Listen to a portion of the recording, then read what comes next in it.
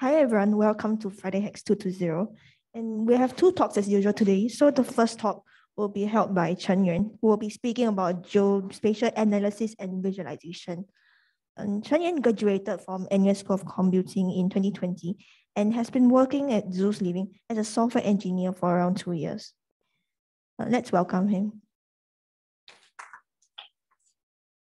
All right. Um, hi, everyone. Um, yeah, my name is my name is Chen Yuan. Today, I'm here to present to you guys um, the company that I'm working at. It's called Zeus Living.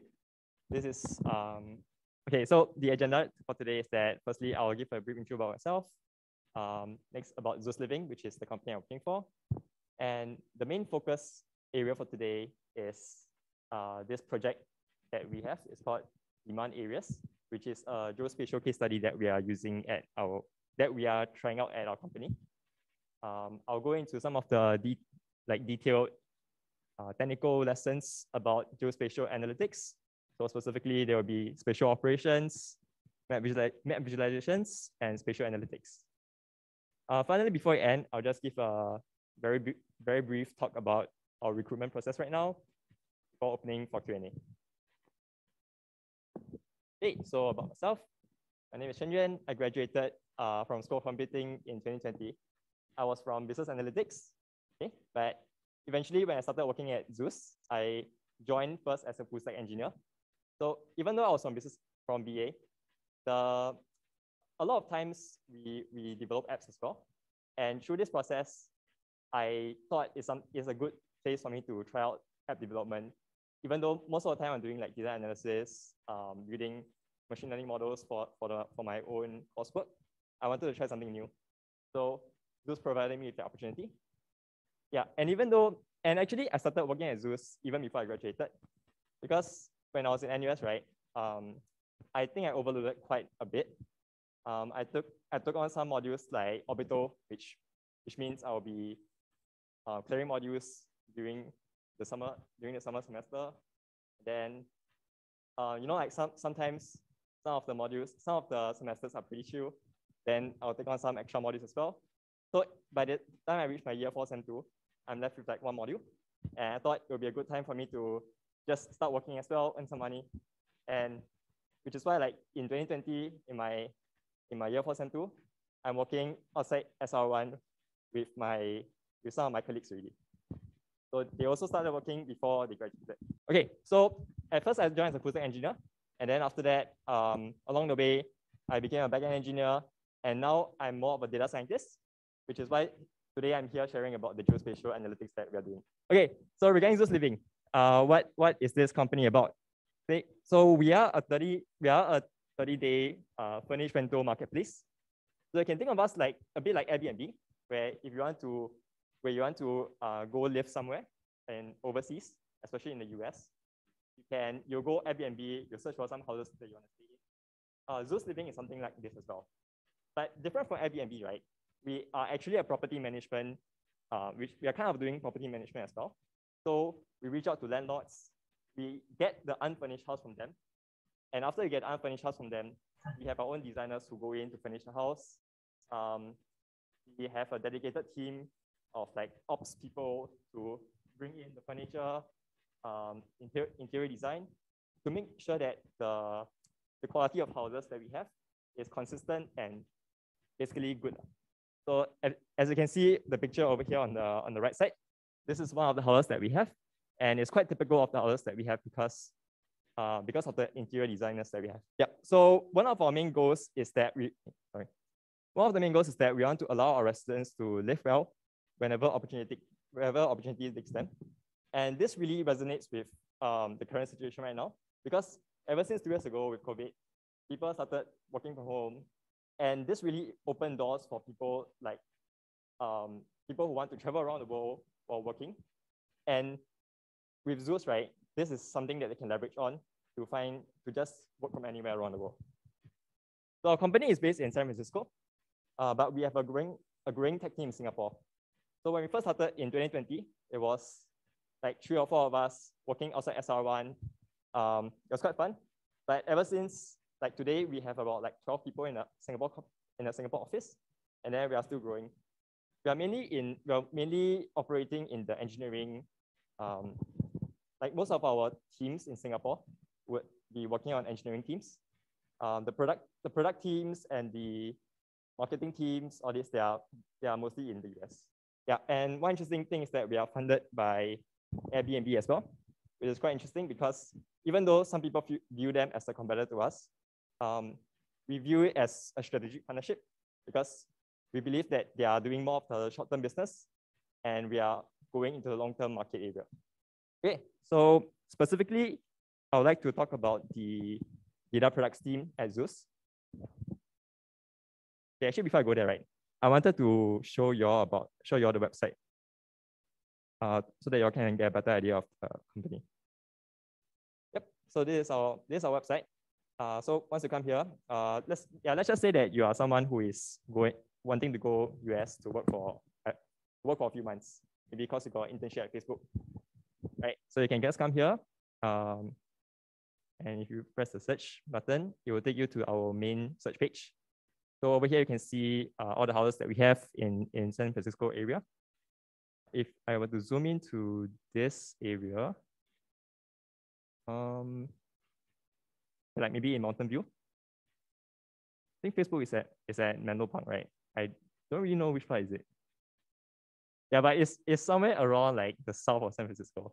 Yeah, but anyway, um, you can you can see what type of houses you want, and then um, and just uh, browse for more details.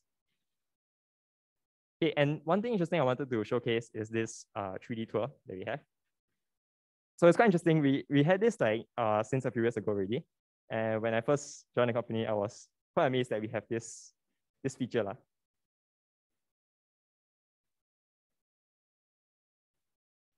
It's taking very long to load. Okay, but essentially, right, it's like it's like Google Street View, and then uh, you can really you can go into the house and then see the 3D uh, the 3D view of the entire house. And this just really gives you a lot of like transparency as to what's going on, what are you buying into, because you ultimately you'll be staying there for like two, three months. And this is a very good, uh, this is a very good feature for you to really explore the house without you flying there to, to see what you're buying into. Okay, just wanted to show this quickly. Okay, and another feature um, that, that I told you, right, is that uh, on, the one, on the one hand, we deal with customers who want to rent our houses to, to live in. Um, but on the other hand, we need to deal with property owners as well, because we need to buy the house over first before we can uh, furnish it and make it available to our customers, right? So there's another flow here. So let's say if you are someone who own a house and you want to do business with Zeus, you can click here, property owners. So uh, this is the flow where they can, where essentially, right, they can fill in their address here.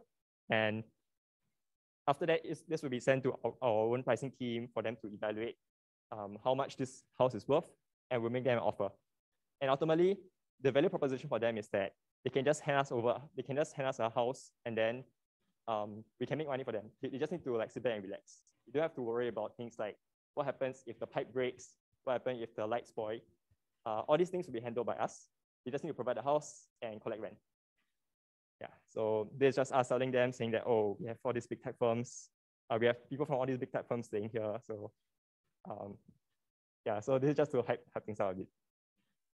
Okay, uh, just, I'm just going to go back to my slides now. Just wanted to share with you all uh, what the website is like.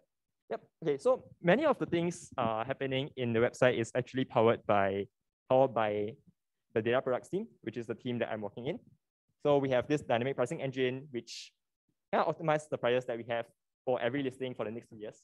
Um, we just want to make sure that we take into account things like seasonality, uh, the probability of the probability of being booked, and price everything such that we get the most get the most from get the most possible lah. Okay, so uh, this is this involves some some modeling around in the backend. Um, and it's something that we've been using for quite a while now. Uh, the other, other projects we have is this thing called the search recommender. The search recommender is essentially something that uh, when you go to the search page, notice that when you map over an area, then there are many listings, right? And then the ordering of these listings will be determined by the search recommender, which we built using some tree-based models. Um, advanced booking model is essentially, because for our houses, we have a minimum stay of 30 days. So let's say if, let's say if this house is available starting from tomorrow, but instead you choose to book two weeks later, you're creating this two-week awkward gap. And we are charging this, um, we, we have some model to charge this based on the probability of being booked to the next user so that we make sure we're not losing out. And finally, right, uh, one, of the one of the products that we are working on right now is this thing called the demand areas. And that will be what I'll be talking about today, demand areas.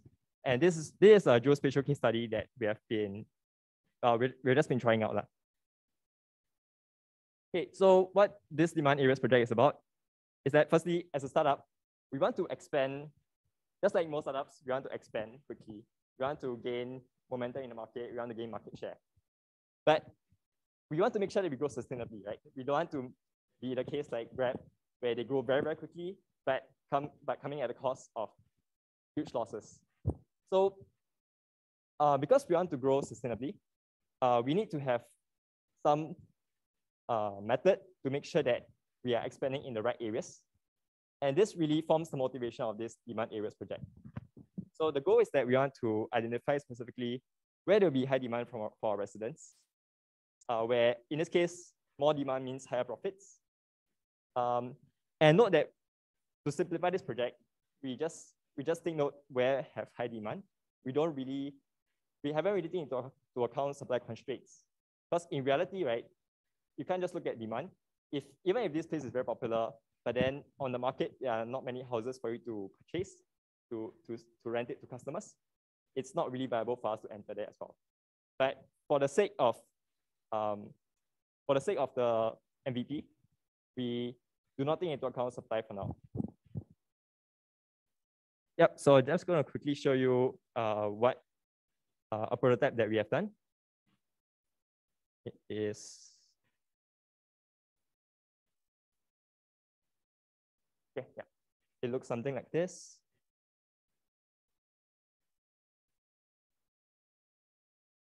Okay, so this is Seattle area. This is Seattle area in, in the United States.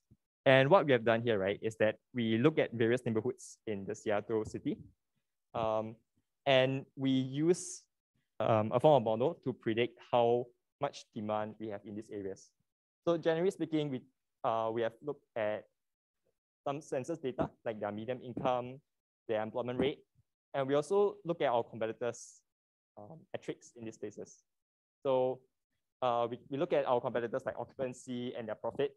And using all these factors, we just give a prediction of the, of the demand for each of these neighborhoods. So the idea is that um, once, once this is, once this is, um, that once this is improved, right, the idea is that um, the areas with blue, as you can see on the top right corner, right? The areas in blue are the places which are which has higher demand. The places in yellow have place, are places with lower demand.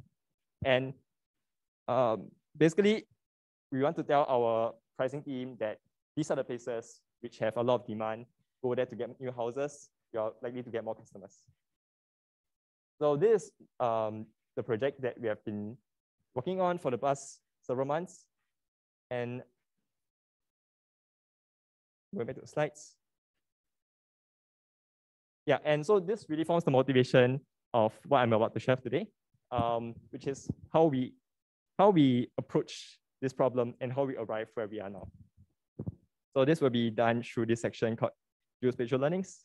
Okay, so this section, right, will split into will split into four four parts. Um, the first two parts is kind of related. We'll do map. We'll I'll go through how we do map visualization first. Some of the spatial operations we have done, and data handling. Okay, and then after that, and then after that, um, the next section, the next two parts will be spatial analysis and spatial regression. So the hope is that um, after going through this, you will have a basic understanding of how what geospatial analytics entails, and hopefully it will give you some confidence that you can you can just begin developing yourself. Okay, so for the first part, I'll go over to the notebook I have here. Okay, so I'm not really sure how many of you are familiar with Python and whether you have used a notebook before.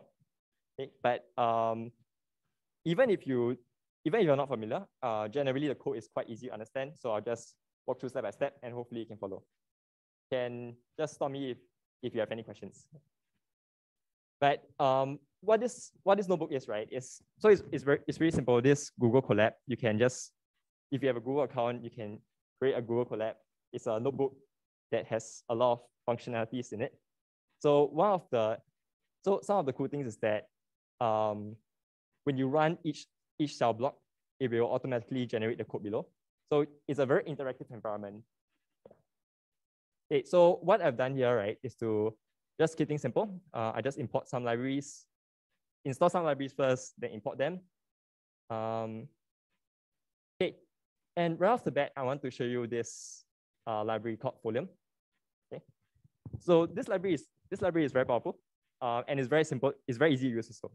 So all you have to do, right, is that once you have this, um, once you import in Folium, you can just folium.map and you already have this interactive map that you can play around with already. Yeah, so you can just like zoom in and, and just see very detailed data. Then if you pass in some uh, information, so I, I went online and I went to find like, I just Google search NUS lat long, which is, and I got this result. So if you just put in NUS lat long in here, and you can specify a zoom, um, a zoom start, then it will just take you to where we are here. Yeah, this NUS really. That's it. Yeah, here. Okay, yeah, so this NUS really. Um, and what's even more cool is that you can set the tiles. So in, if you don't want this, I think this is by default, they use OpenStreetMap, OpenStreetMap tile, which is quite a lot of detailed information, quite cool. Uh, but if you want something that is more lightweight, you can just pass this in called CartoDB. And it's just a bit cleaner for you to look at um, the map at a very abstract view. Okay, this is, uh, over here I pass in Seattle lat long really. So that's why we are in Seattle. Yeah, so um, so with this library, right, we can easily visualize points on the map. But the issue now is that we have a map, we don't have the points. And that's what the next section is, uh, is about. I'm going to import in some of the data we have, and then we can show the points that appear on the map.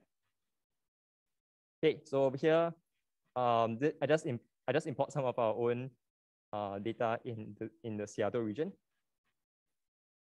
Okay, yeah, so this is this library is called Pandas. Um, again, I'm not really sure whether you guys are familiar with this, but Pandas is a library where you where it helps um, engineers and data scientists to deal with data.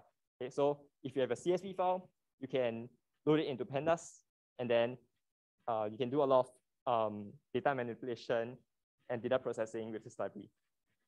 So over here, right, you can see that I load in this CSV file, and then I can just print out the table. So it has four columns. Um, for every row is one listing. It has the lat long, it has the listing ID and bedrooms. Yep, and with this library, right, you can just do uh, a lot of like, a lot of stuff in a very simple way. You can just uh, find the summary statistics using this describe function. It shows you, it basically shows you the, um, the five, the five points in the, in the, across the distribution from mean 25% all the way to max. Okay, you can use this info function to tell you like which columns have missing data. Yeah, then after that, um, you can also do a lot of basic operations here. So um, over here, right, what I'm doing is a simple filter.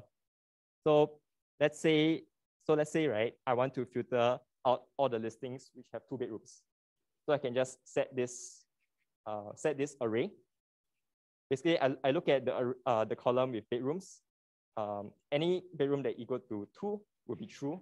Uh, otherwise, it will be false. Then just pass this array into this uh, data frame, and then you can get the filtered version already. Okay, then there's also group by, uh, which I'm sure you're familiar with from, from your SQL lessons. So you can group by bedroom. And then uh, this is just the number of bedrooms, or rather the number of these things by bedroom gone. Okay, so that is pandas. Um, very quick introduction. Um, now, if you want to incorporate like geospatial parts, this where Geo, GeoPandas come in. So GeoPandas, right, is basically built on top of pandas, but it has geospatial functionalities. So one of the key things is that they has this geometry column. Um, and over here, you just pass, you just tell, you just say that you want to use the longitude column and the latitude column to build the geometry column. Okay, so as you can see here, right, uh, we have a new column called geometry. All these are point objects. And these point objects are important because like um, when you want to perform a lot of geospatial operations, um, GeoPandas will recognize this column and do the operations accordingly. Okay, so oh, one more thing I want to point out is that this CRS, which stands for Coordinate Reference System. Okay, so when you have all this uh, lat long data, they are essentially like just floats, right? But the floats itself, the float themselves don't make sense because ultimately we need to map this float into, into a place in the real world. So this CRS that you see here is essentially a mapping from the, the it's like a unit, a mapping that you can tell, you can tell the, you can tell this system where when I say let one, it, it equates to which part on the, on the map. Okay, so normally for lat long data, we have this CRS 4326. And yep, so after that, um, so as I mentioned, right, uh, all these things, uh, you have, once you have all the long data, you can plot it on the map. Okay, you can, uh, over here, I plot everything out on the, on the graph because like right now, right now we can't really see anything yet because there's no uh, base map layer. We can add a base map layer. Then uh, by doing so, we can add more context to these points. Okay, but instead, we can just, uh, instead of adding a base map, right, um, we can just use back what we learned uh, just now, which is Folium. Folium is the interactive map. So um, what I've done here is that I use back the Folium map above, and then I add another layer of this data point. So now all the data points that we saw just now, they're all here already. And because there's a base map now, there's, a, there's context as to what's happening. And I've also added in like the tooltip over here. So for each point, you can see like how many bedrooms is that. Yeah, so that's pretty much it for the for this demo. But actually, there are a lot other there are a lot other like functionalities for GeoPandas that I haven't shown here. Uh, one of it is called spatial join. So you know, like in the in databases, right? There's a join where you want to join two tables, you join on a column. So they'll see maybe if you if these two columns, these two tables, um, you look at two columns, if they're equal, then they'll join. Over here, right, it's the same idea, but they look at the geometry. So if this point um, overlap with another table of polygons, if so, if this point fall into that polygon, it will join together. Yeah, so it's, it's really cool. Um, all this, the technology behind it, I'm not really familiar with it also, but uh, I think what's cool is that there's all this abstraction going on. So you don't really have to understand, but you can still use it to apply it to own projects.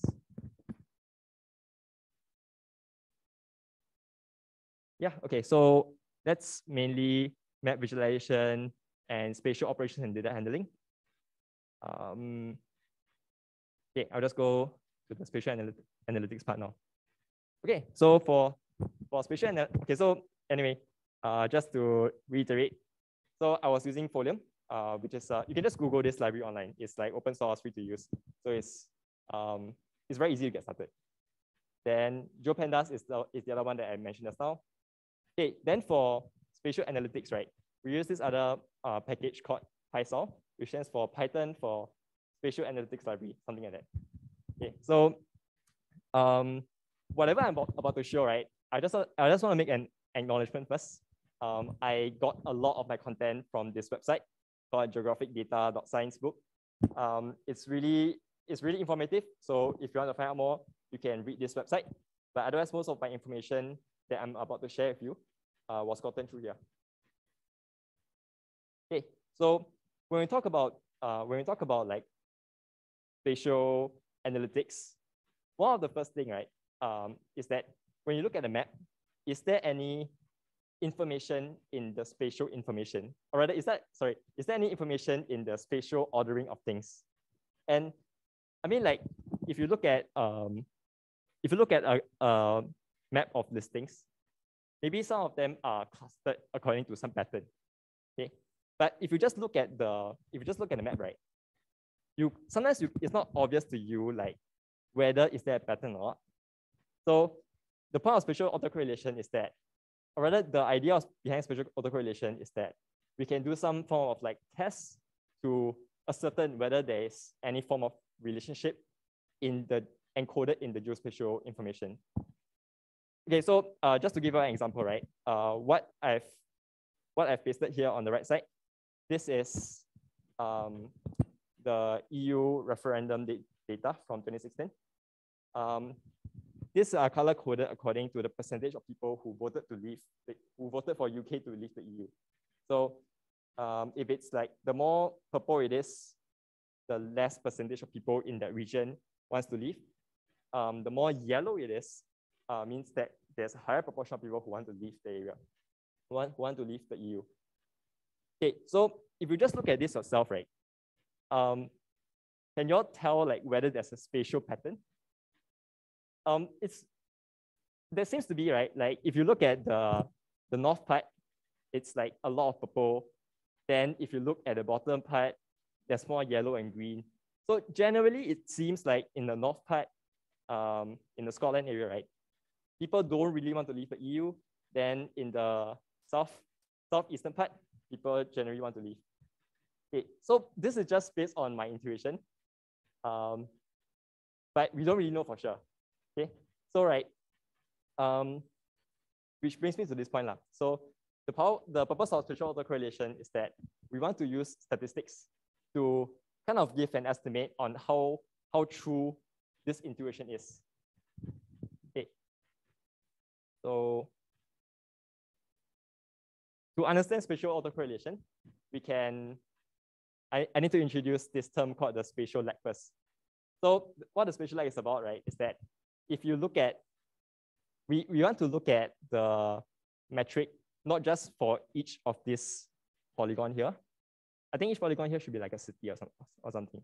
So um, instead of just looking at the city itself, right, I want to look at the neighbors of the city. So if you look at this equation, this YSL, SL for spatial lag, um, for each of the city, I will look at its neighbors and I will multiply a weight of it by it. So ultimately, this, uh, this thing you see here is that for every, for every city, we look at how much, sorry, let me close this. Yeah, so for every, for every city, right, we see, um, we see what the neighbor's value is.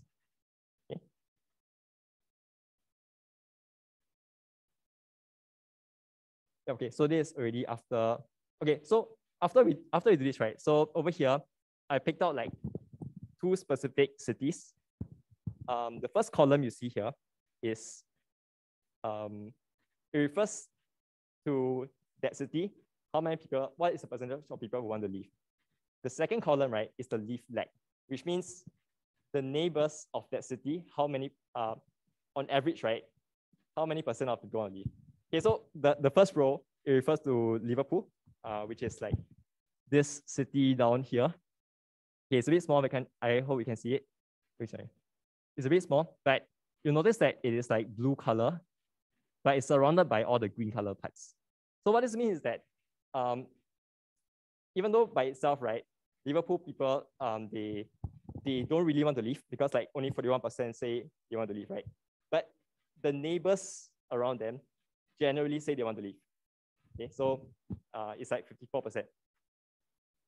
Compared to another city, um, this, this other city is in, in the northern part of UK. this other city, right, it has a very similar, it has quite a similar percentage of people who want to leave. And the neighbors also have the same value. So uh, what I'm trying to say is that if you, if you, even though they look similar, these two places look similar, but their neighbors of these two places are actually drastic, drastically different between these two. And because like for this voting, most of the time it's like 50% is the threshold. It, Once you, once you cross 50, then it is considered um, the hope is considered that this city want to leave really. Okay, so um, what this slide is about is supposed to show you is that once you calculate spatial lag, you can understand what's happening around your neighborhood. So not just the city itself, but you understand the, the city surrounding you. Yep, so um, these two diagrams I have here, on the left side, right, is the, is the normal graph. So every polygon that you see is percentage of people who want to leave uh, from the city. And then the one on the right is the spatial lag. So each, each polygon you see, right, it shows the percentage of people who want to live in the neighboring parts of that, of that city. Yeah, right. So um, generally, once you do this, it kind of smooth out the differences. Okay, but uh, why did I introduce spatial lag? So we know that spatial lag means you look at the neighbors, right?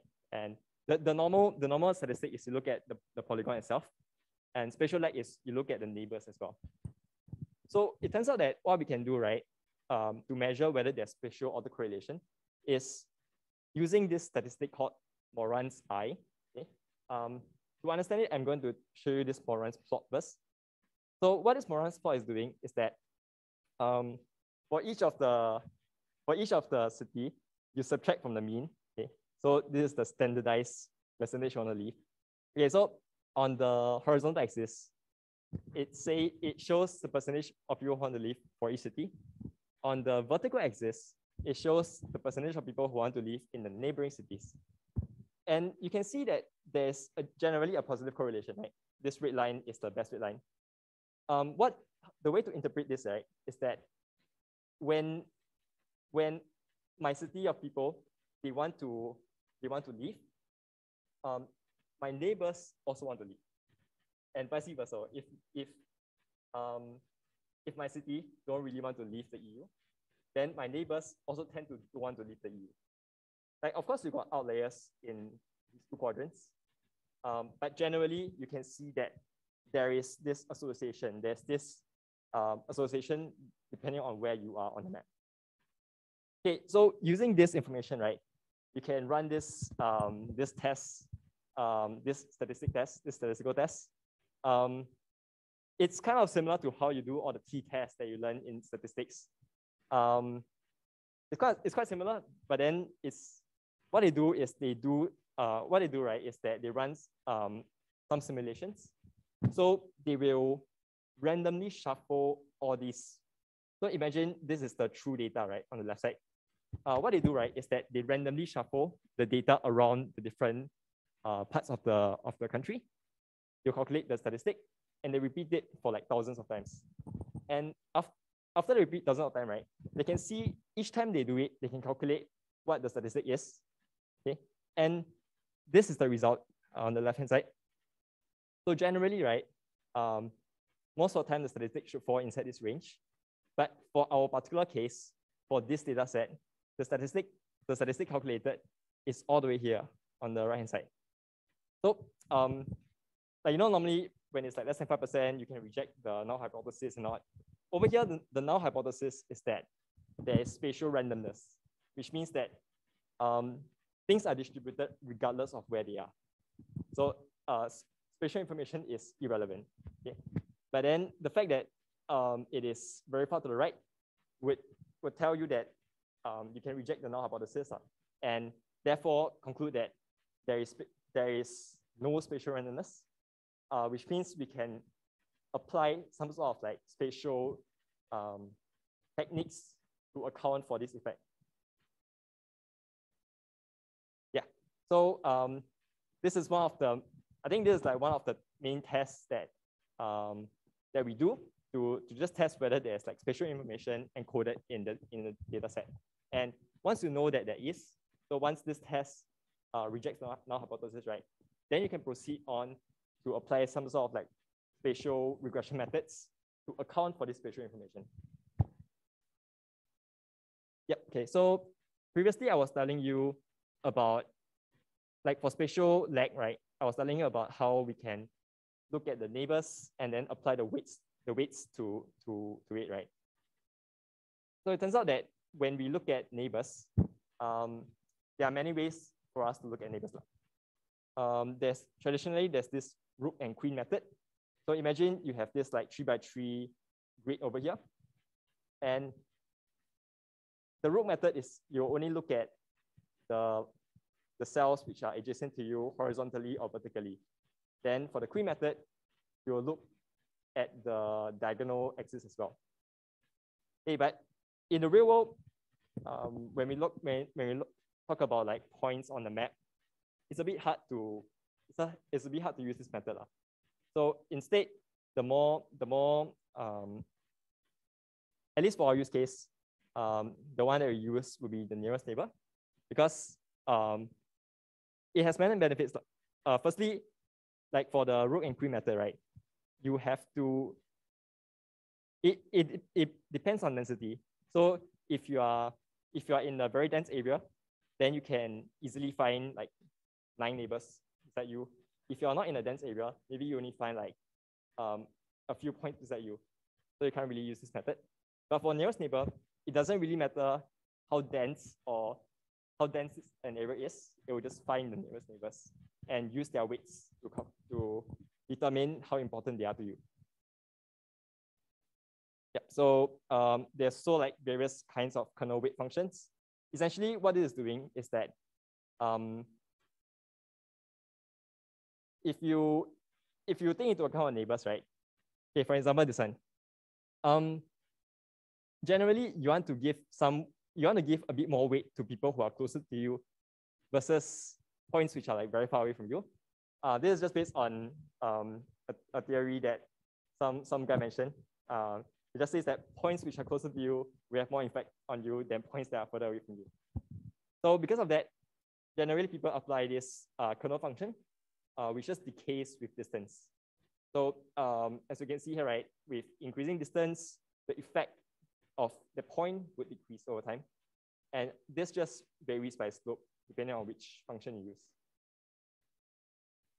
Yeah, so this is just a, yeah, so generally this uh, is what I am covering for spatial analytics. We, look, we first look at spatial autocorrelation to determine whether there's spatial dependence. If there is, then we can apply some methods like spatial regression to take into account this effect in our models. And with that, I, um, this we come to the last part over here, which is how we want to factor in like spatial information into our model. There are, there are actually many methods, uh, but I'm just going to highlight one here, uh, which I think would be, which at least for the project that we are working so far, this is the most relevant one. So there's this model called the, the exogenous effect model, uh, and which is SLX model uh, SLX because spatial, spatially lag um, exogenous model, I think. Okay, so uh, over here, right, um, this is another data set already.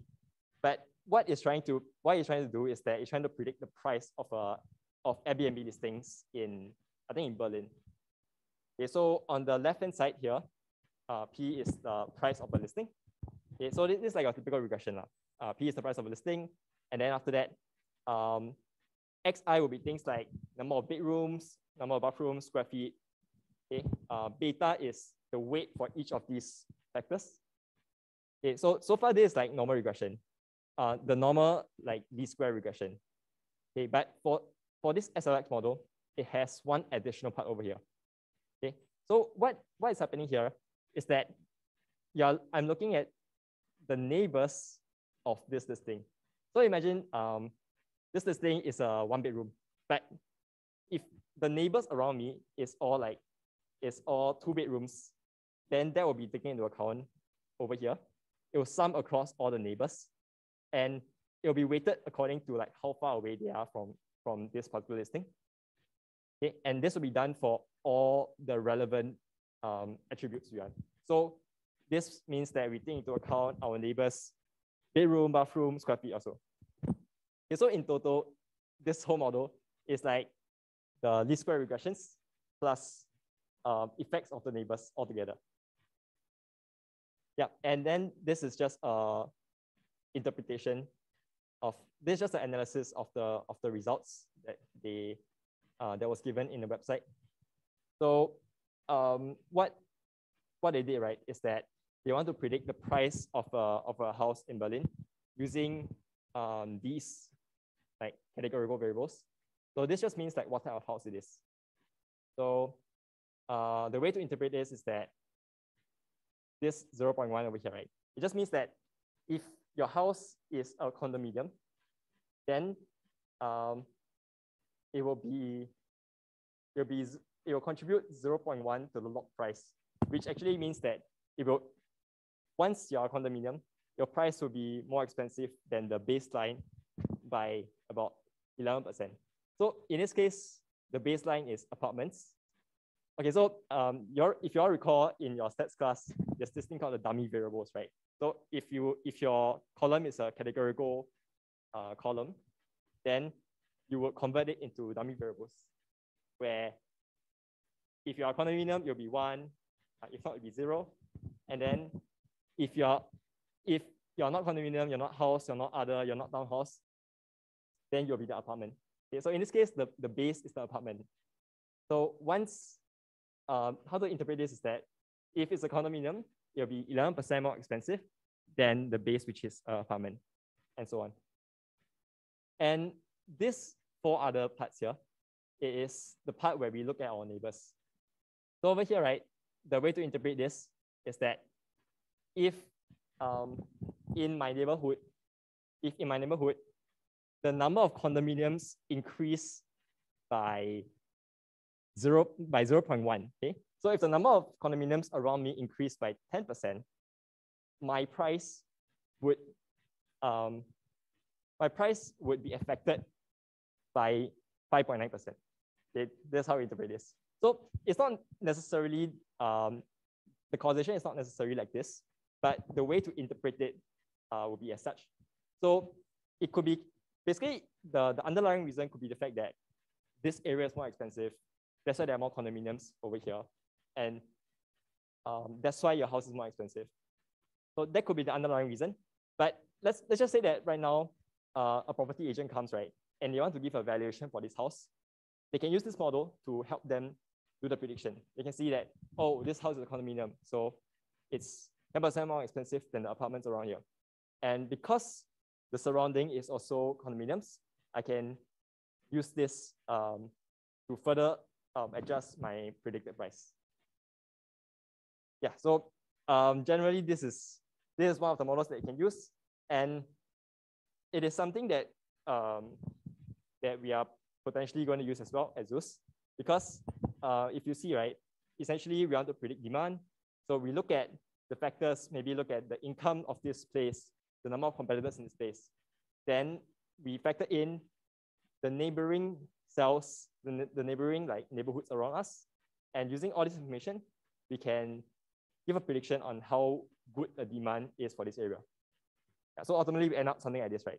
Like if you want to see here, you look at the you look at the income in this place, look at the competitors in this place, you look at the neighbors, and using all this information, you just give a prediction on how well this place will do.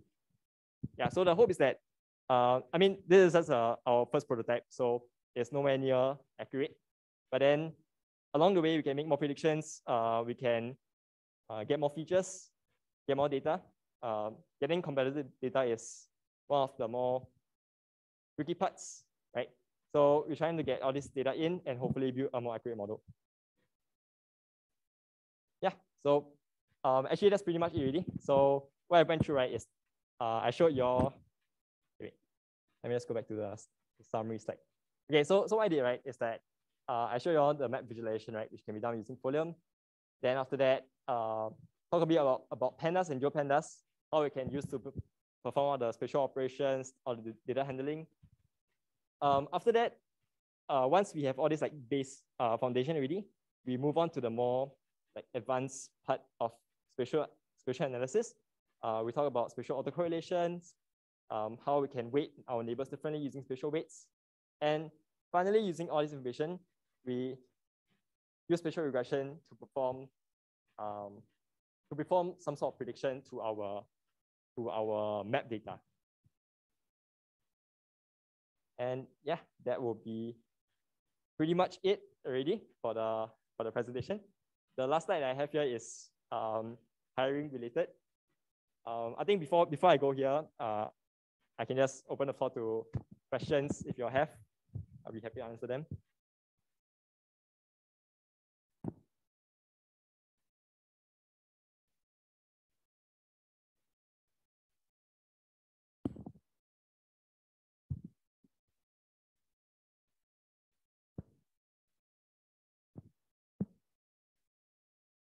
If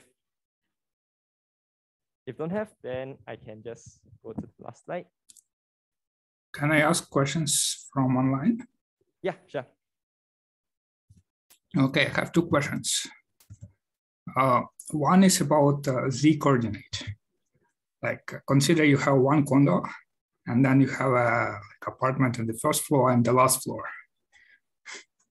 Mm -hmm. Right? So like how much sense would it be to like just combine them uh, uh, according to like simple regression model? Because like if you think about the floor it may be correlated to the price because like nobody wants to go all the way up to like 30 floor in condo. Right. So yeah so about like uh, is there a good is there a, a possibility to include the like, extra dimension to this analysis. Like be it uh, z coordinate or be it some other parameter. Right. So just to clarify uh, yeah. Oh sorry. Uh, just to clarify you're saying um, adding the floor of the of the unit to the model as well is it? For example uh, so like in a way you're already doing it by uh, grouping data by type of housing like condo like normal housing or some private housing but uh, like if it, we can think about other axes, like, must it be done by grouping as well, or is there some uh, general model to take into account such things? Right. So um, what, what I'm hearing is that uh, we want to basically do more feature engineering to get the right uh, to get more robust data into the model. Uh, yeah, I, I'm mostly asking from the point of view, from uh, from the regression. Not necessarily your particular application, but uh, in general, is there a mathematical theory behind uh, taking into account more than just 2D? Um, sorry, uh, can you repeat the last the, the question again? So in, uh, in general, I'm asking uh, whether there is some mathematical theories to include more than just 2D data, not just distances, but also some other parameters. Oh, so, okay. Uh, so, so instead of just looking at the neighbors, which are 2D, like based on distance, uh, do we have, do we look at the floors, for instance, like the, the altitude? Yes. Uh, I see, I see. Yes. Um, yeah, that's interesting. I, I think that's something that we I haven't considered before yet. Um, if we have data in in there as well, um, I mean, I think it's possible to uh, use this approach to uh, edit in as well. So uh, maybe like over here, um, as you mentioned, right, this is on the mm -hmm. 2D on the 2D plane based on the distance, based on the horizontal distance across the Earth, right? Um, and maybe you can have like yes. one more segment where we take into account the height. So um, I think uh, uh generally there's some some other parameter. It's not not necessarily going to be height, right? And like in a way, you can think of a type of the housing as an extra axis, for example. I I, I guess so, so, There is no uh, in play theory. You you need to extend the existing one. Am I correct? There is um okay. Sorry, can you repeat the last one again? I I didn't quite get it. There is no available theoretical model to extend to more axes. So you have to extend this this model to to take Right. into account more. Right, right. Okay, I Um, see. Okay. based on yeah, but based on my research, I I haven't come across uh, that model that you mentioned where we take into account um, like a third dimension um, of data. So um, Hmm. like whatever I mentioned to you, adding on a new set of um, like variables here, that is just based on my that's just based on me thinking thinking about it right now. Um, yeah, personally, I I don't know. Yeah, that makes sense. Yeah. And uh, the second part is somewhat related. Mhm. Uh, it's uh, like if you now you're looking at just uh, route like route distance, and now I imagine a map and there's a river, right? On the left bank of the river there is some poor district, and the right bank of the river there is some rich districts.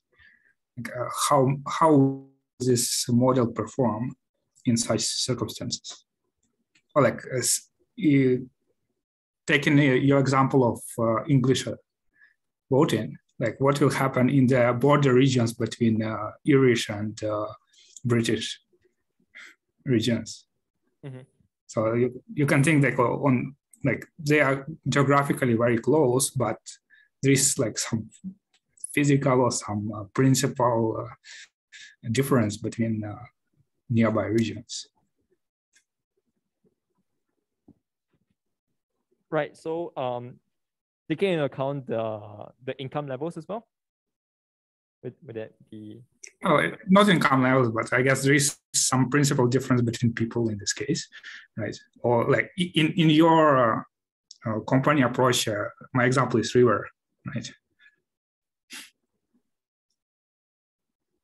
So like you two buildings on two sides of the river, they are technically very close, but uh, actually in actually, I think my practice, colleague has some ideas. Uh, maybe he can answer it. mm, Yeah, thank, thanks for these questions, by the way. They're very statistically insightful. I, I actually want to go back to your first question, right? Um, answer that, and then I think I can continue on with the second one. So, with regards to your first question, um, to, to answer your point, right, whether or not you know we can integrate the floors in as like a, a, a third dimension beyond the x and y, like latitude, longitude axis, the answer is yes. Right, the SLX model is basically an extension of like the ordinary least squares, and the OLS model itself, right, doesn't really care for the precise like number of dimensions you have. You can extend it to any arbitrary dimension.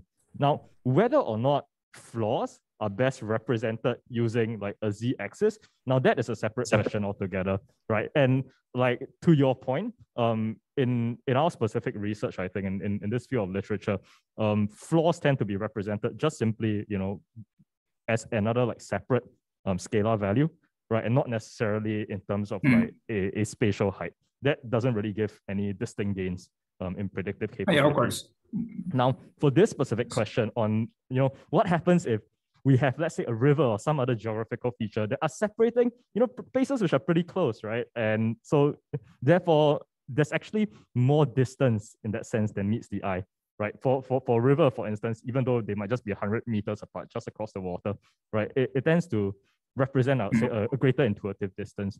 I think there are many ways to kind of like fix um, this problem, right? One way is in the, um, let's move over to the slide. One way is, is in the way in which we determine, right, how like distance actually translates like over to weights, right? So um, for example, if, if let's say you've ever done any algorithms on shortest path, right, what we can do is once we take into account the spatial distance, right, we could weight it by the amount of so-called like geographical difficulty, right, in a sense. So if we draw a straight line and we determine that it's mostly over mountains or rivers, we could easily multiply out the weight constant by let's say 100. So these are like arbitrary approaches. I would say that in our specific research, we have not yet encountered these problems substantively to be able to solve it, but that would just be like my first intuition, right? To treat it the same way that any other computer scientist would treat, like, let's say, uh, a shortest path problem. Yep. Thank you. Well, uh, uh, that is a shortest path problem uh, for like arbitrary graph, maybe not so straightforward. Uh, Yes. Can you even find a service to to get that kind of data quickly? Uh, but of course, if it doesn't match up for your particular application, you don't care. Yes. Yeah, you don't Yes, need that- to solve the problem. That, that is exactly yeah. right. That is exactly right. So just imagine you're just like weighting the edges based on like whatever geographical feature we want to care about. But it all depends on this particular domain. And right now, like just from my experience, not very sure. We haven't encountered this problem specifically. Yep. Okay, I see. Yeah. Thank you. All right. Um, if yeah, if there are no other questions, I'll just uh, finish up the last slide that we have. Um, that is regarding hiring. So um, just wanted to just wanted to give a, a very like small advertisement that this is hiring right now. Uh, the Singapore office is hiring.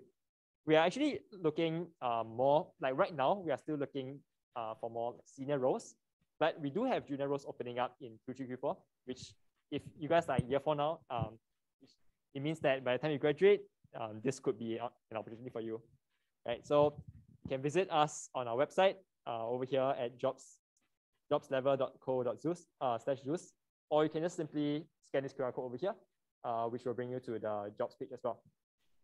And all these, um, if you have any questions, um, like if you are not sure whether to apply yet, uh, just want to find out more, you can feel free to reach out to us um, at this email, at this Telegram handle. Uh, all these queries will be directed to Jiaxing, which is who is the person who just spoke. Um, he's he's working with me um, and he's basically my boss. So you can reach out to him. He'll he's very friendly. He'll let you know uh, if he'll let you know your answers. Uh, hopefully. Right in. Thank you.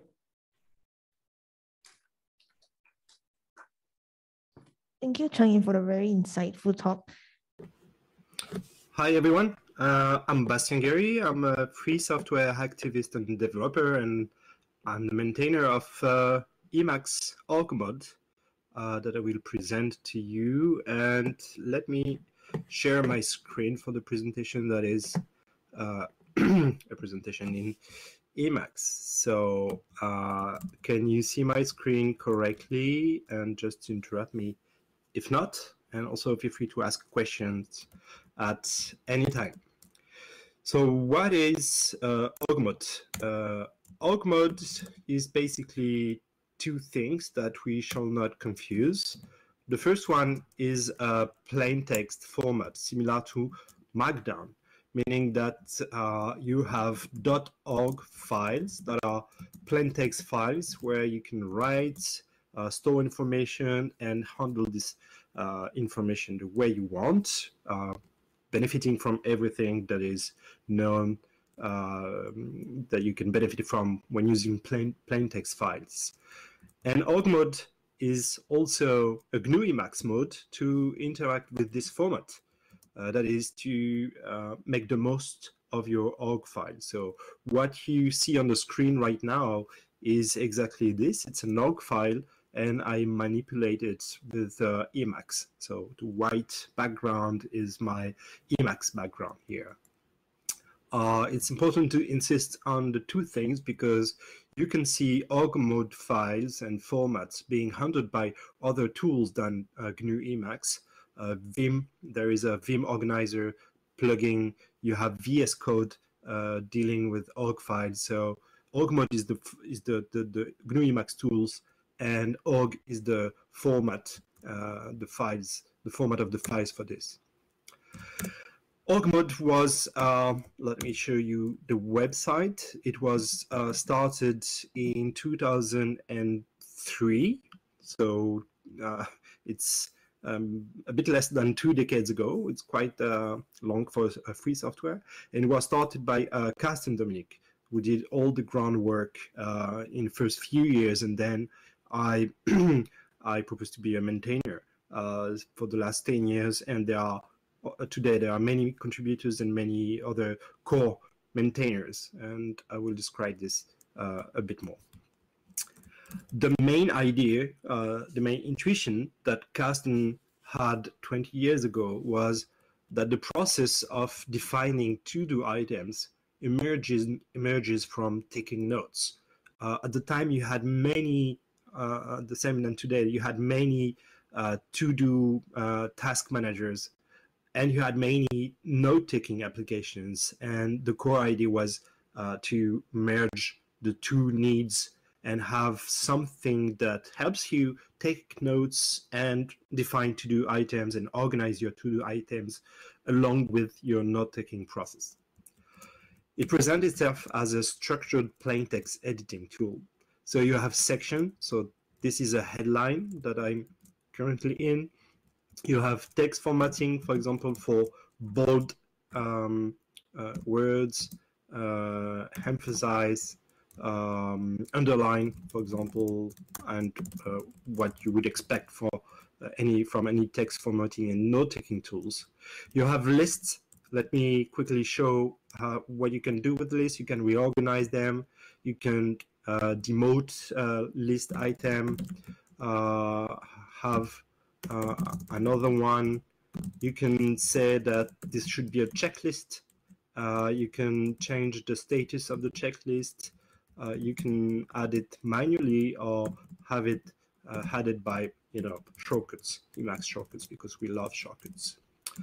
You, we also have tables. Uh, editing tables in plain text files is always uh, difficult, and here um, it's uh, really easy. Um, you can insert lines in your table, uh, and so and so on. You can have multiple column, columns. Here you add the columns, here you add more columns, you delete the columns, you move, you create rows, uh, you move the rows up and down, you move the columns uh, on different uh, sides and so on. So that's really very nice tool to uh, deal with uh, uh, tables.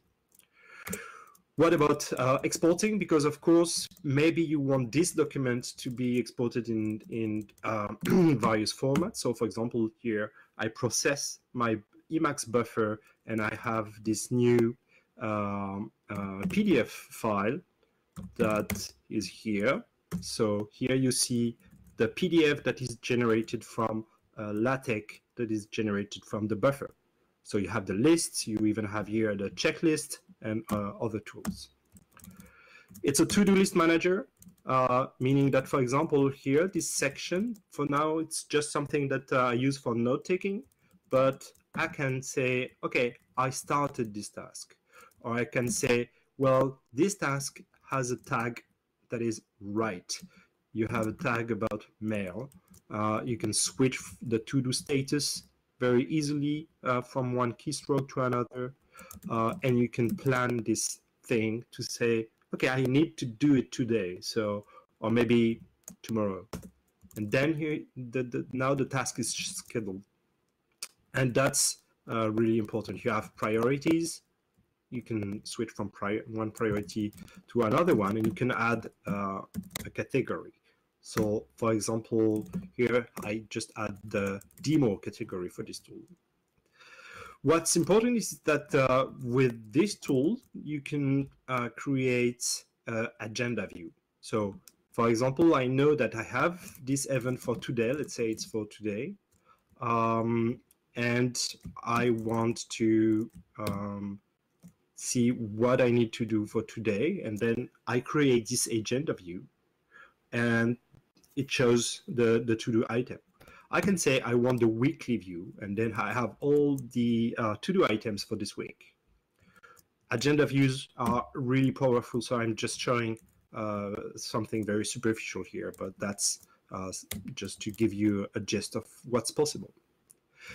Tables are nice, but you may want to have spreadsheet uh, capabilities within Emacs. So for example, here, this is my first line. I do add some uh, basic uh, data and then I say, hey, here I want the sum of uh, the, the, the, these two first rows, or here I want the mean of these two first rows. And this is just plain text. Okay, so I have the uh, mean here, I have the sum here, and these definitions uh, operate on the table. So if I do remove uh, the, the output, then I just hit Control C, Control C, and this performs the calculations. The glitch you have here is because uh, the calculation is performed in two steps, uh, and you need to reperform it uh, to have this output here. That is the sum of uh, the means that you have in the rows. So that's good, and uh, many people uh, use org mode as a spreadsheet system, and that's really powerful. Here, um, I don't know if you're familiar with the notion of literate programming, that is, describe documents, embed some source code in your documents, and generate the programs based on this um, uh, encompassing and this global document. So you, you first write stuff, description, documentation, features, whatsoever, and then you include the source code within these documents. And you can then tangle the source code into a separate uh, source code file. Here I just, uh, it's not really literate programming by itself. It's just the ability to execute source code within my Emacs buffer. So this line says, okay, let's have a source code block using Emacs Lisp and let's uh, say um, hello, for example. So I changed the source code a bit, and I hit the Control C, Control C magic key, and I have the output of this here. Of course, you can uh, have many other um, functions, and you have many other languages. Uh, so if you want to execute Python code, like in the Jupyter no notebooks, you can use your Emacs buffer for that. So here it is. This is uh, basically what I wanted to show you because the rest of org mode you can discover uh, by yourself reading the documentation. Now some words about this um, uh, this big project, this big free software project, and how do we operate as a community. Uh, we have some strong opinions, and I want to share them with you and to discuss them with you uh, afterwards. We use a mailing list. We are not on GitHub because we think GitHub is not uh, a fair platform for free software. Uh, GNU, GNU Emacs is part of the GNU project, and Org mode is part of GNU Emacs. So uh, Org mode is part of the GNU project, and we refuse to use um, GitHub as a platform when we are in the GNU project. So we use a mailing list like many other free software projects out there. Uh, the most famous one being uh, Linux. Uh, it works. Um, we have more than 2,000 people, uh, subscribers on this mailing list that exchange with each other, write uh, messages to each other uh, to develop patches and commits and to continue to uh, make Org mode an awesome tool. We don't have two mailing lists. We just have one. One that is for discussing the development of the software, and we discuss it with all the users at least those users who want to subscribe to the mailing list. But there was suggestions in the past to have two mailing lists, one for developers and one for users. And we resisted to that because we deeply think that the powerfulness of Org mode is that most users are uh, computer scientists most users are potentially uh, contributors. So we want to encourage all the, the, the, the subscribers on this list to contribute one day and to take this step of you know daring to submit a patch on the mailing list. We don't have a roadmap. Uh, all um, Org mode contributors are uh, volunteers, so we operate on a best effort basis. So this is not to say that any uh, free software project out there should not have a roadmap. Of course, uh, if free software is backed by a company or by a very structured community with people getting paid for, for developing the software, you can have uh, a roadmap. But for us right now, we don't have a roadmap. And we like to move slow and not breaking things, uh, as is done in Emacs. Emacs is uh, uh 40 years old now, I believe, and it moves slow, it progresses, it's still great, it attracts many users, and we follow the same spirit of moving slow and not breaking things. One failure I want to share with you is that when Carsten Dominik was invited um, to speak about Org mode in, in, in Google, that was more than 14 years ago, I believe, um, insisted on the fact that 99% of the features were developed organically. Like this was all feature requests. So the seed, the very minimal org uh, design was already here in the first year, and everything that came afterwards was really added by uh, new ideas, new contributions. For example, all the code execution capabilities have been added by uh, uh, uh someone after Org mode existed. And what it means, it means that you you need to have a great seminal idea to be able to uh, cope with this organic development. But it also means that when someone comes and has uh, a very uh, a, a, proposal that requires us to change the design principles or to change some uh, something deep in the structure of the code, that's really hard. And uh, we, I think we had several contributors, uh, designers, saying, "Oh, Org mode is great, but there are some difficulties for beginners, and I want to help you um, overcome these difficulties by, you know, changing a few a few things."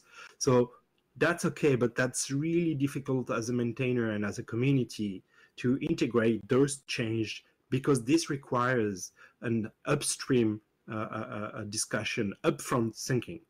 So if you develop free software, you have to think of how do you integrate designers in the, in the process of developing it. So, and, and I encourage you to think this ahead very much because uh, that's something that will pay off uh, afterwards. So here I just want to give you some hints on what I think are the ingredients for a successful free software. Uh, the first one being that you need to uh, uh, stand on the shoulder the shoulders of giants, meaning that you need to have your uh, uh, your free software project being part of a very active ecosystem. Org mode is part of Emacs, and that's because of the power of Emacs that we have 90% of the power of um, of of Org mode. So really it's important to think uh, where what is your platform uh, for for making your your software a success. Sometimes it's the language itself.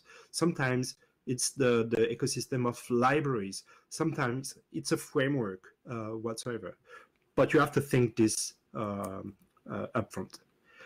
The next key factor is are your users potential developers and potential developers and contributors um, that's very important. If you develop a free software uh, for education, for example, most of your users will be uh, children at school. Uh, if they don't know how to code, they will and, and don't know how to report a bug, for example, then it's will it will be really difficult to have them contribute. And we have this chance in Org mode to have a, an audience of developers and and most developers from using Org mode are, are really uh, into Emacs and and really eager to make this uh, platform uh, the greatest platform. So that's the second question that you would have to ask yourself. Have a great documentation. We cannot insist on that uh, enough.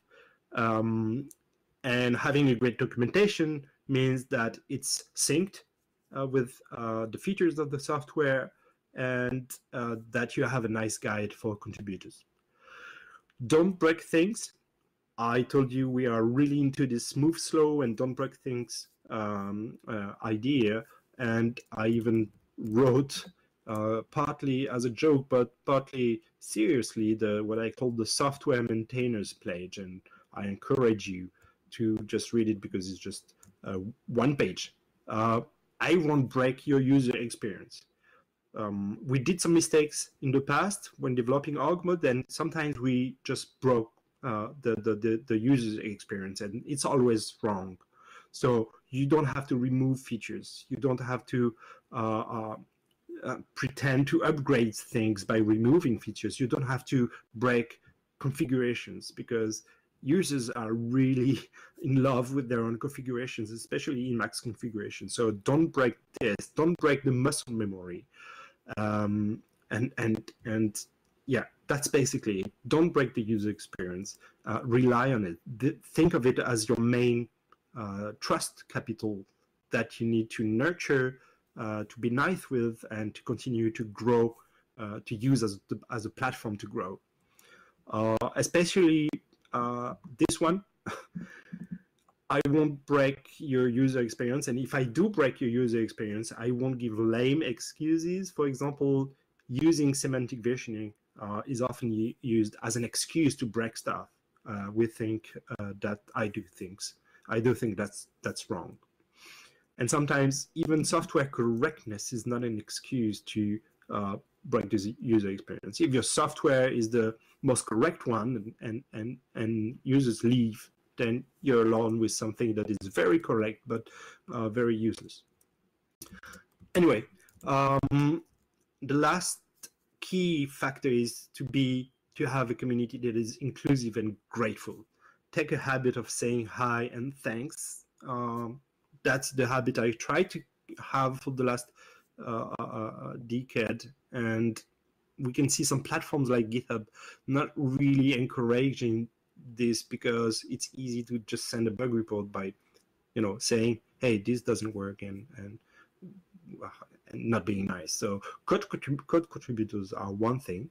Uh, you can use them, but mostly it's the role model that you can play as a maintainer that is really important. Credit contributors correctly, of course, and enroll new maintainers very early, not just contributors. This is something you have to think about. How do you uh, enroll uh, maintainers? People that will be uh, with the project after you you stop. So this is now the ranty part. Um, all bug trackers suck. Um, there are too many different interfaces think of the status uh, the, the, the, the, that we were uh, living in before Git. So Git saved us from uh, the DVCS chaos. Uh, I wish there was a tool to save us from the bug trackers uh, chaos. Most are web-based. It's not really the best uh, interacting platform um, for this particular use of you know bugs from uh, free software project. Of course, I know uh, everyone is using GitHub issues, but I think even GitHub issues has uh, issues. What about data portability? Of course, there is an API to uh, get your data back from GitHub issues. Of course, there are APIs here and there, but what is the standard format for uh, data from uh, from from bugs? Because most bug reports are very informal. Even if you have guidelines uh, in, in, in GitHub, for example, then it's really difficult to discipline the users to make very good, well-structured uh, bug trackers, and sometimes for, for good reasons, because you don't want your uh, contributors to be fluent in English, for example. Not all clever people speak English, um, so that that's an issue.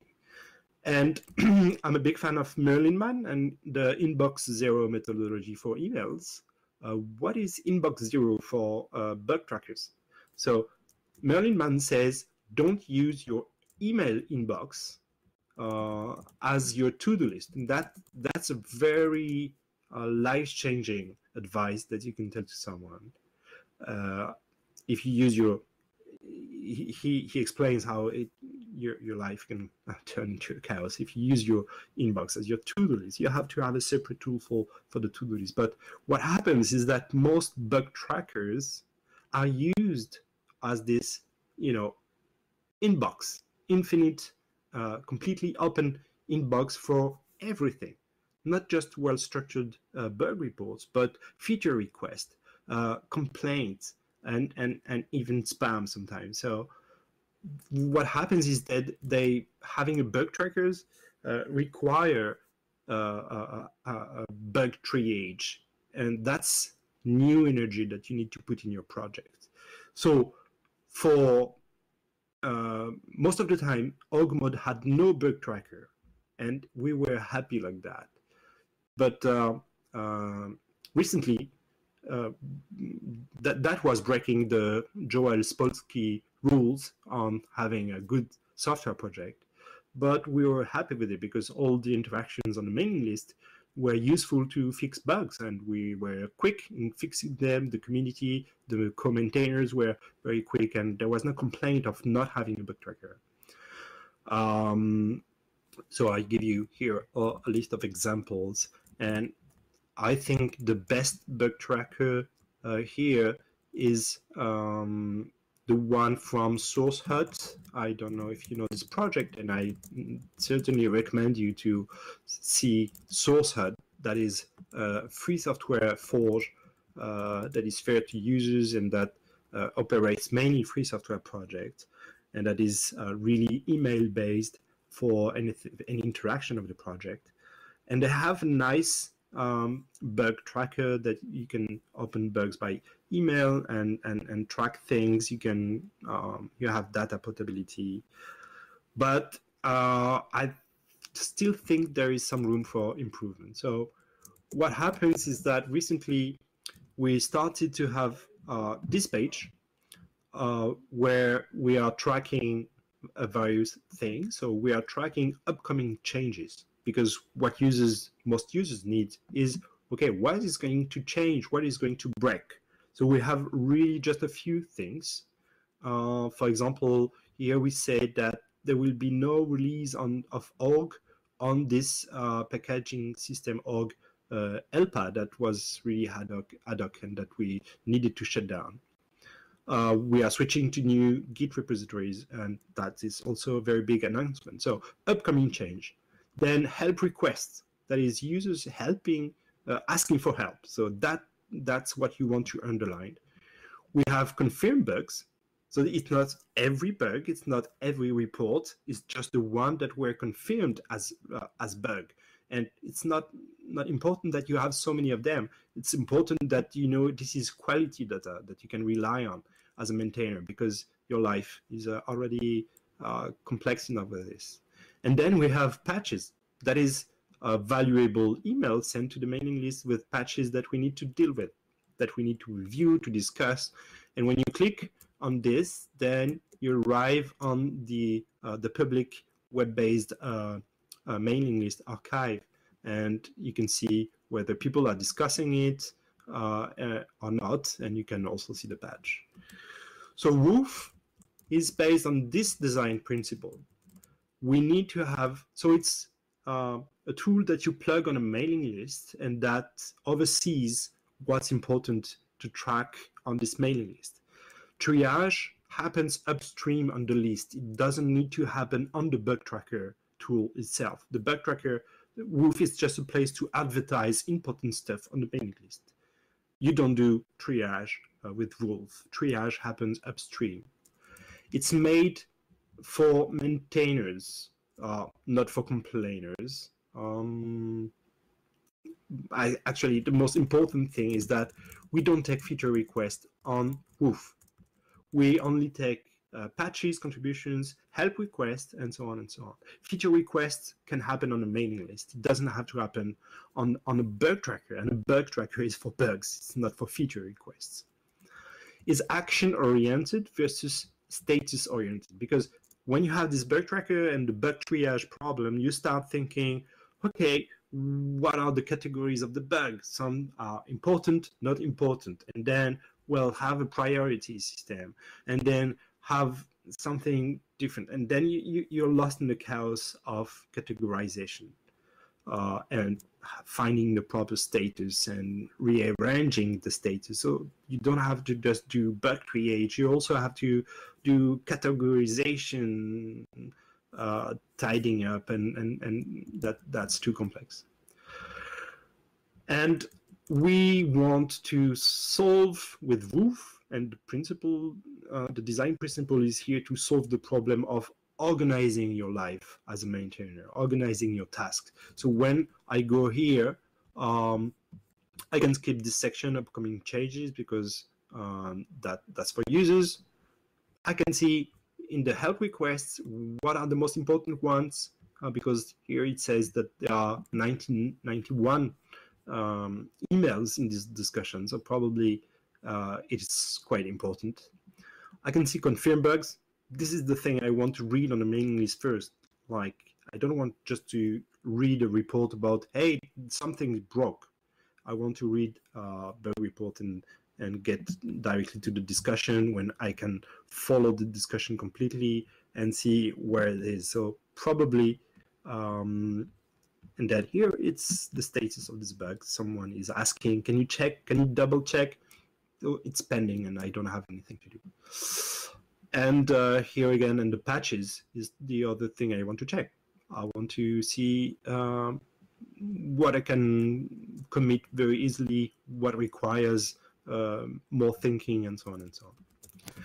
So it solved the problem of organizing tasks as a maintainer and solved the problem of moni monitoring changes for users. So uh, when you go on Woof, uh, for users, you just want to see this, upcoming changes. And perhaps if you have some spare time, you want to help other people. If you see, for example, hey, MIME registration, well, I work for IETF and perhaps I can help uh, .org files to get registered as a MIME format official. And then you simply go there and reply to this email. So most bug, bug trackers are databases on top of emails. Uh, we think that emails are the database and that we just need to have to monitor this database more uh, in a more clever way. I don't say that Woof uh, is um, uh, uh, the magic solution for uh, the problem of bug tracking tools sucking. I don't say that these bug trackers suck for everyone. Perhaps everyone is happy with the um, GitHub issues, but I still think that for most free software, it's it's still an open issue. And that's it for me, and uh, I'm open to any questions. Thank you very much.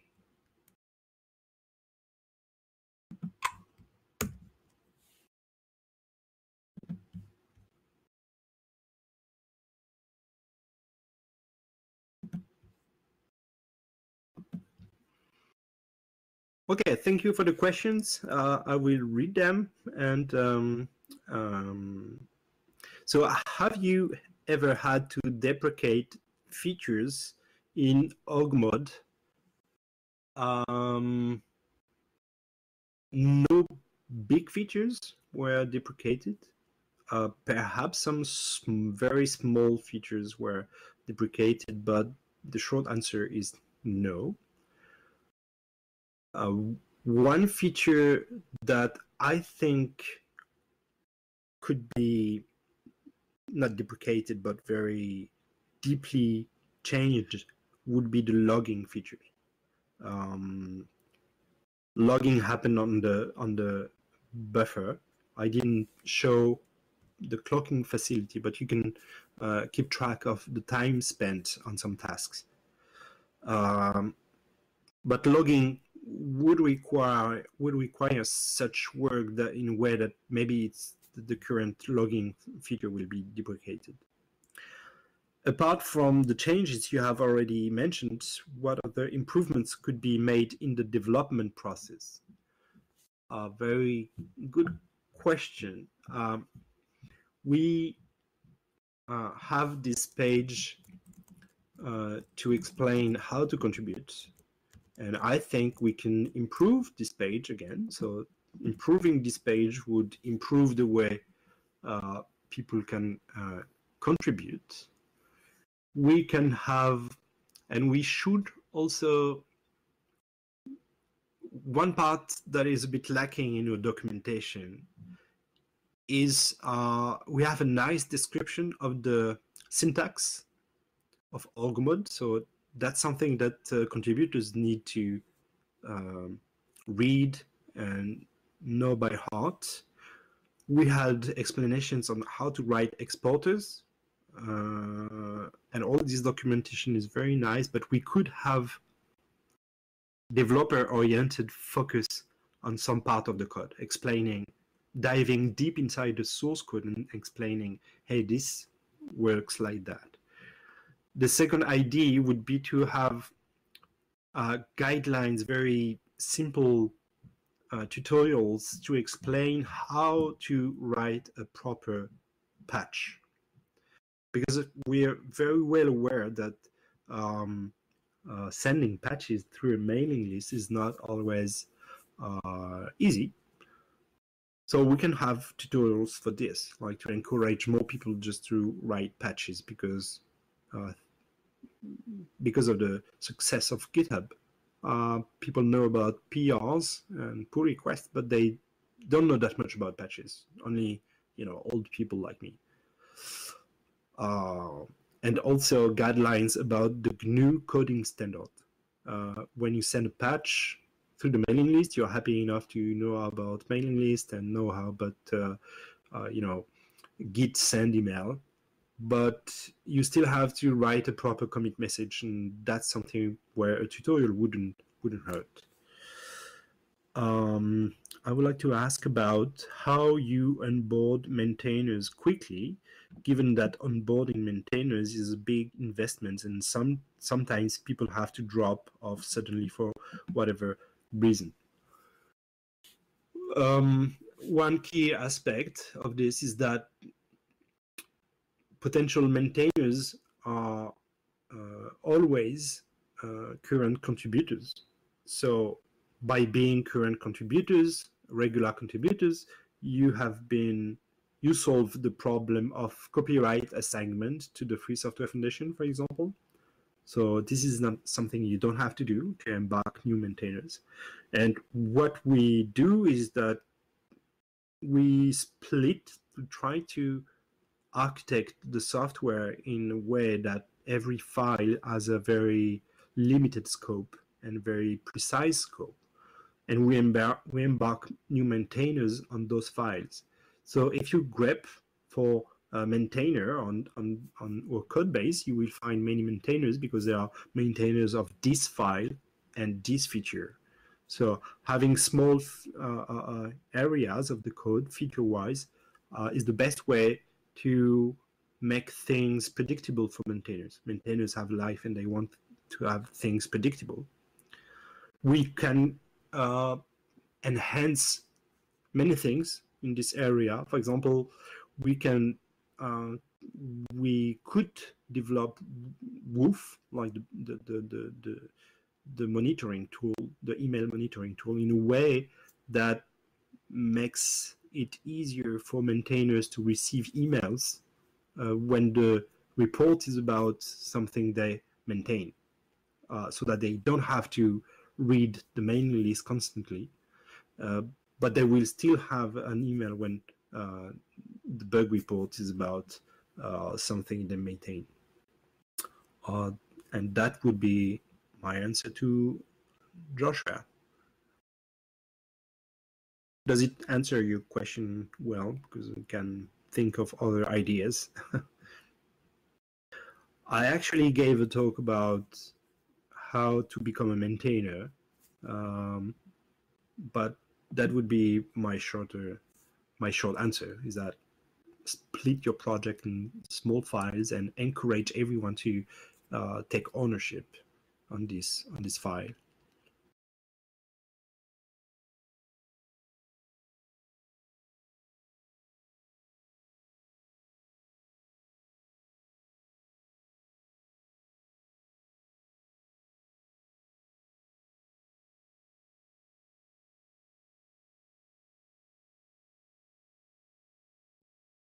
Well, um,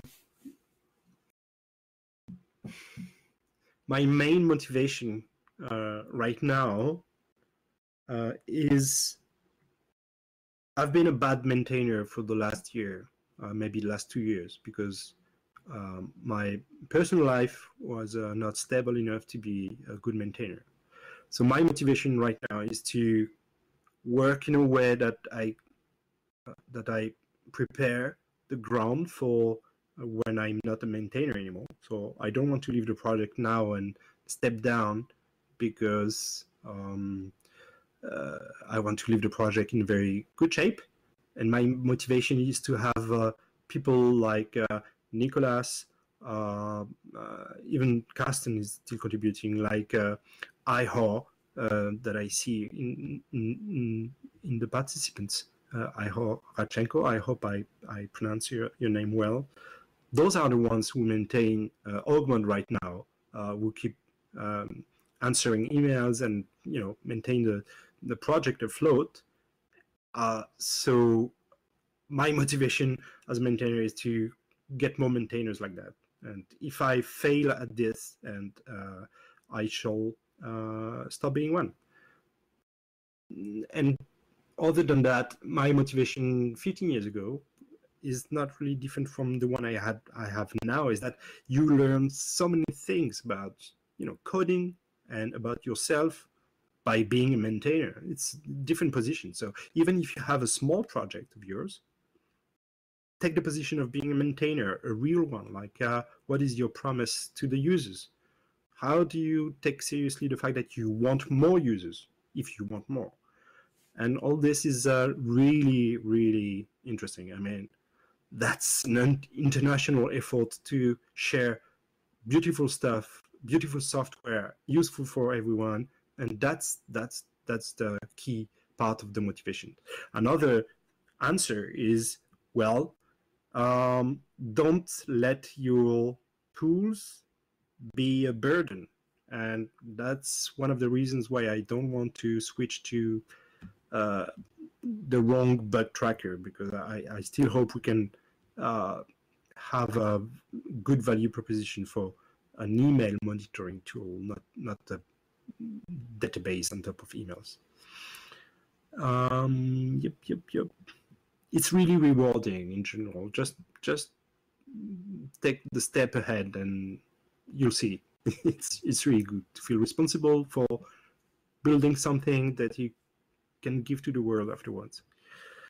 Um, what's what the process to get a new feature merged into org mode? Is there a RFC process like in the Rust community?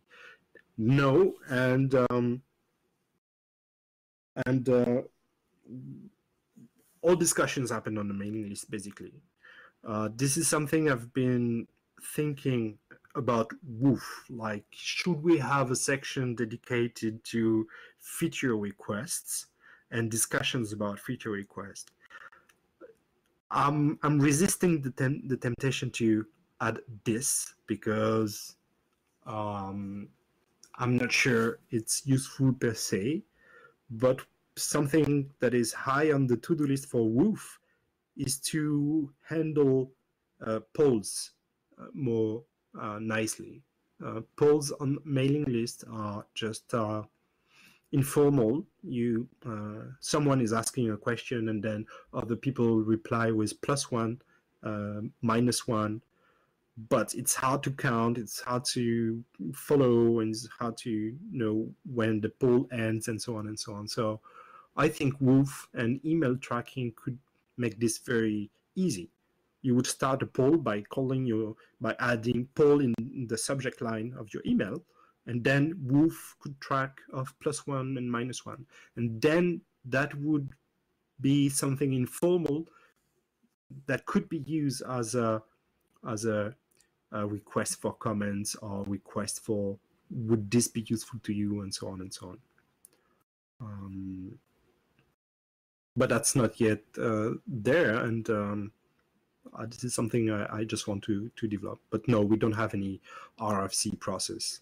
And and and um, but the stakes are different. Like the rust community he's uh he's a huge one and and with um, a, a, different structure. And all, all this is very much uh, more informal in in in in org mode how do you decide the path forward for the world project serving a diverse user base, having uh, varying, often contradicting opinion? Um, I have to think about this. Uh, I have to read it again. Uh, don't hesitate to add uh, to your question, I hope, because I'm not sure I get how do you decide the path forward for the whole project, serving a diverse user base, having varying, often contradicting opinions. Yeah, okay. So that is, uh, I said we don't have a roadmap, uh, and I don't pretend this is a feature, uh, and perhaps this is a problem. Uh, and for major changes, a roadmap is certainly useful. So for the ones you want to prioritize and for the one you want to uh, tackle, basically. I don't decide. Uh, uh um, I what happens is that the one ready to do the work uh, decide by doing the work. Um, and I'm not saying this is the best option ever. It's I'd say I'm saying this is the uh, the rule in a best effort um, community, and a community working on a best effort basis. Um, but that doesn't that the regulation uh, and the trade-off happens because uh, people are free to express themselves uh, on on the mailing list. I'm not saying that it's that this is all the users, and I know a mailing list can be a barrier. Uh, even public expression can be a barrier. So you don't, of course, we don't know the whole user base, but um, this poll feature on could be uh, the basis for using uh, the mailing list as a poll system more often. I don't know if that answers your question. Do you have advice on getting more of education or public orgs onto open source software? Big techs has become aggressive on getting all on their cloud services, or is it the question too off topic now? Um, it's yes, it's a bit off topic, but I'm glad to answer and with what I think. I'm working uh, at the free software unit for the French administration right now, and I can see how important it is to have end users uh, asking for free software to their administrations. So I would recommend that every student that think um, universities and academy should use free software, just express yourself.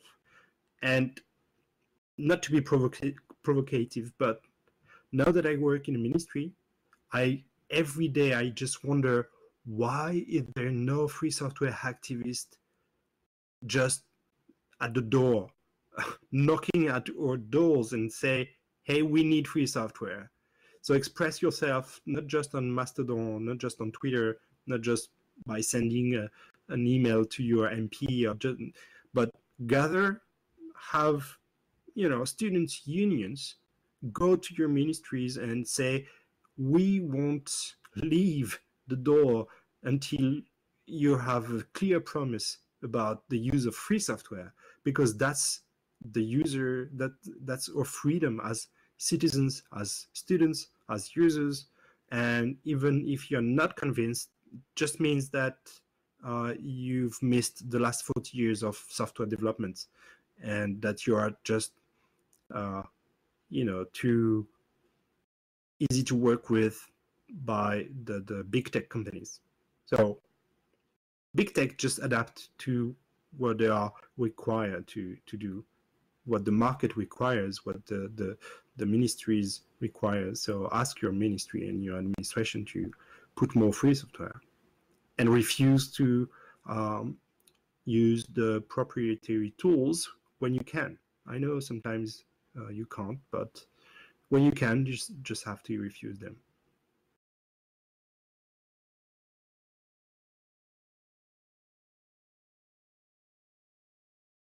And there is a lot of expertise about these, you know, strikes.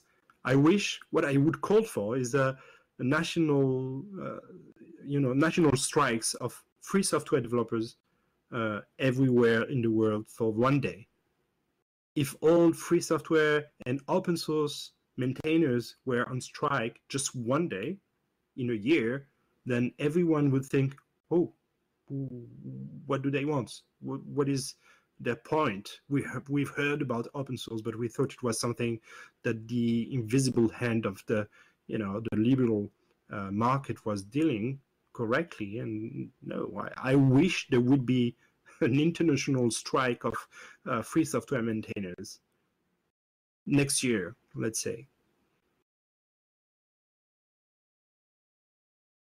that's probably some something that I will not leave in the video, or maybe I will.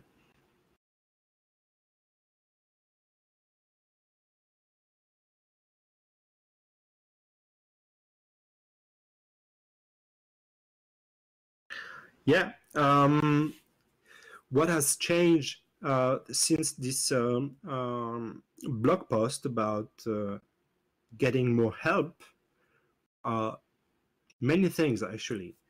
First of all, we have more co-maintainers like iHor. I think we can all, always do better, but we have more co-maintainers. Since then, we also have Woof, and uh, again, I'm not saying it's perfect because it's first of all it's a personal experiment, and the, the, the code base is just me, and it's not a very strong free software project. It's just an idea about these design principles that I've been outlining. Uh, second, I organized uh, the thing in so that releasing org mode is really easier. Uh, before that blog post, uh, there used to was there used to be an org mode server, and releasing was uh, involved, you know, going to the server, do the package stuff on the server, and then publishing them, and it, it was really too complex. Right now, you just put a tag on on the commit, and then you have a new release, and that's that makes really things easier for maintainers. Um, and since uh, the last two years, we have many more maintainers for individual files. Uh, we called for help for individual files, uh, especially Babel files, like the thing uh, the thing I've, I've been demonstrating about literate programming and code execution within the buffer. Every language uh, uh, has its own file, and we have maintainers for all these files. So more maintainers, easier tracking of what emerges from the mailing list and uh, a very uh, nicer setup for releasing. That that's what I would say. Of course, we can uh, we can do a lot a lot better. One thing that will be better is that when I gonna be when I gonna step down. Uh, I mean, I hope my, me stepping down will be um, uh, uh, uh, you know a new a new start for the next org 10 and and plus 10 uh, generation.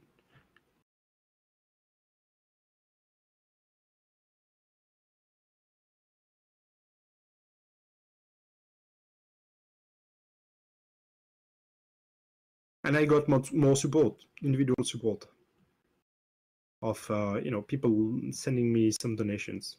That that also matters. I wish donations would be um,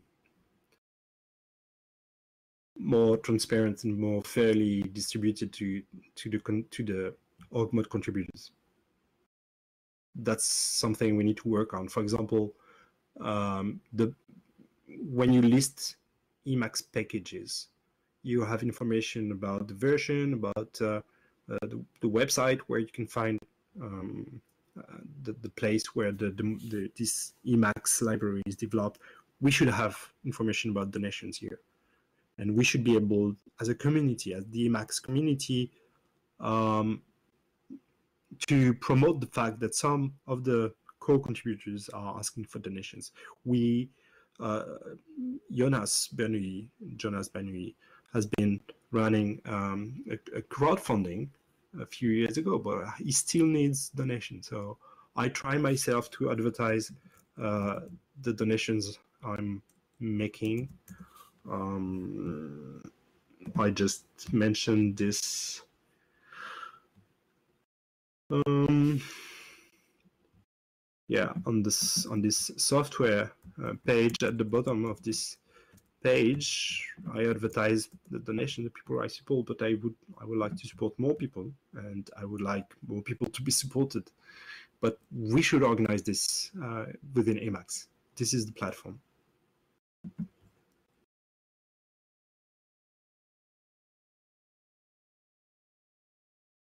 Is it okay? Can, shall we stop now, or are there any other questions?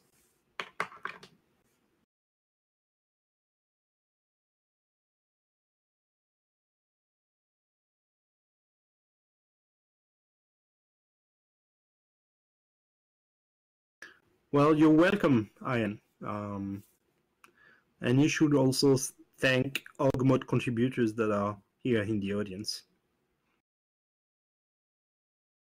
Don't hesitate to just uh, use this uh, email address, like the mailing list, just to say thanks. I mean, this is something that that also keeps people running and keeps people thinking, "Hey, this is this is useful. My work is useful." So, thanks for the virtual claps. I feel a bit alone in front of my screen, but that that's the game, right?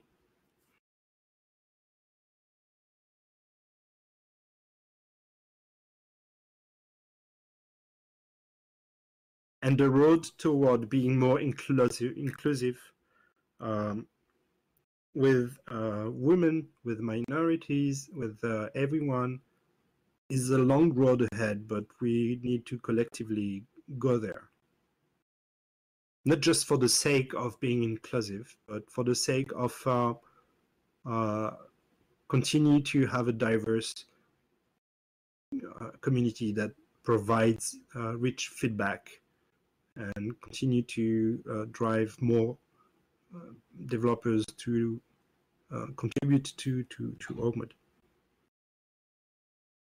Yeah, great. I'm glad to read this. Hi. Oh. So I guess I can talk if my connection is good. Your connection is good. I can hear. University. If you uh, you said that you, said that you're working in uh, free software government organization.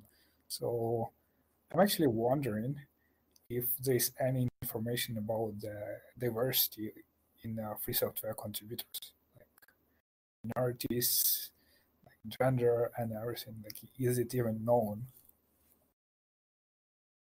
Uh, usually we don't really care about like who is contributing, but uh, the practical structure the contributions is not very well known.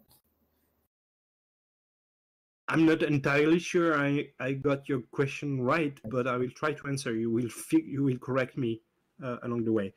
One of the nice thing uh, about free software project from the administration is that this project have constraints on uh, gender equality.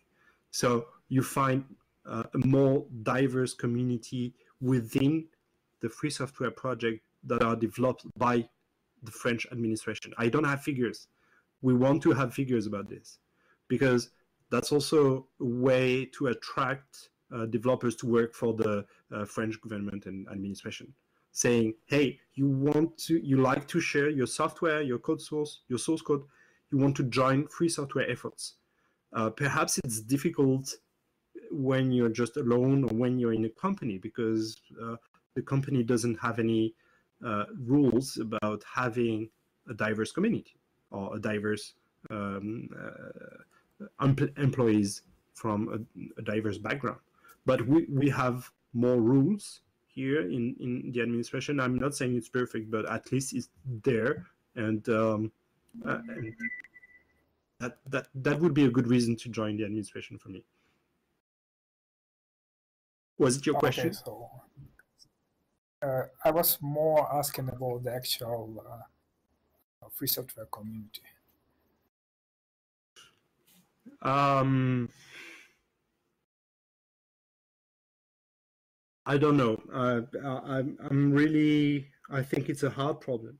One thing that we tried, for example, uh, that was before the COVID crisis, but we started uh, French uh, in, in Paris. We started uh, in real life meetings around Emacs with the hope that such meetings would be more inclusive because it's easier to talk to people and to be nice with each other uh, by meeting in real life rather than you know sending emails impersonal emails to a mailing list so we started this but so far it's really hard we had a few girls in these meetings. We are like 10 people gathering every two months. And It's really nice and uh, easygoing. And we had a few girls, but because they were coming one by one to these meetings, then they didn't stay. I, I think, or maybe because we were just boring guys. But we tried this and it didn't work. Uh, but of course, this cannot be the solution for every online free software project. We need to have more different rules. I don't know. Yeah, yeah, great.